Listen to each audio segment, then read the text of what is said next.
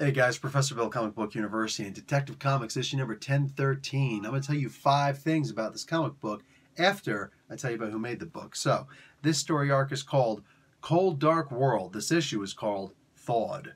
We got Peter J. Tomasi doing the words and the story, Doug Mahnke doing the pencils. We got Keith Champagne and Christian Alamy, Al, doing the inks, and David Baron doing the colors. Rob Leigh on letters. Mahnke and Baron doing the cover, and the variant cover is Tyler Kirkham. Uh, Batman was created by Bill Finger, and Bob Kane just pretty much stole everything from them. Okay, so let's get talking about number one on this list. We got Alfred's acting. I like when you can add a little humor to a story. and there was a part, like the very beginning of this book, I'm just like, uh, what's Tomasi doing to Batman? What's up with this? But it's quickly explained and I likes it. I likes it a lot. Uh, it's good when you can have a, a, story that's written as well as it is. Don't think that I'm slouching on the art either. No, the story doesn't work without the art. All right, especially that first part. Let's talk about number two in this book uh, Batman's Firefly suit. I've never seen him with this, uh, like they call it a heat gun. That's a flamethrower, brah. I know a flamethrower when I see one. so anyway, you call it a heat thrower if you want. A super advanced blow dryer, I don't know, but Firefly would be proud. Um, this was an awesome suit. I don't know if uh, this this suit's ever been shown before and I just missed it, but to me, this looks like the this is the first time I've ever seen it. Is it a first appearance? Y'all tell me. All right. Let's talk about number three in this story. We got uh, the Gotham City zombies. Look, man, this ain't DC. This ain't Marvel zombies.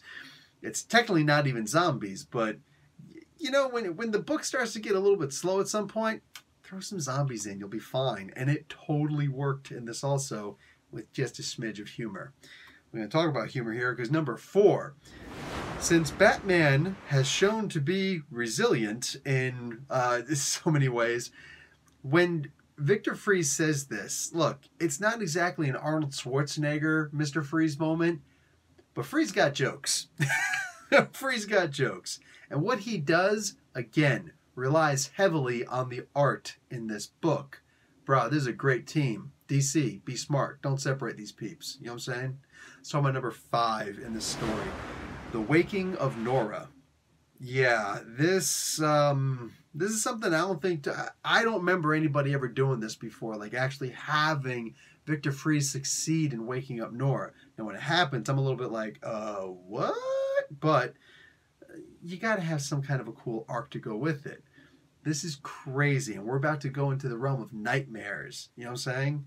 Uh, this was fantastic. Um, finally, I got to give an honorable mention. Number six here. Yeah, uh, Alfred wearing a flash mask in the Batcave. This team really knows how to crack a good joke or two, to, or, or five, in order to get you to laugh a little bit while you're reading an otherwise very intense book. This is some serious topic matter. And every so often, I'm just like, okay, that was pretty good. All right, mm, get back in the grind here. This is great. This is a great, dude, great detective comic run right now. I'm loving this. Professor Bill, Comic Book University. Class dismissed.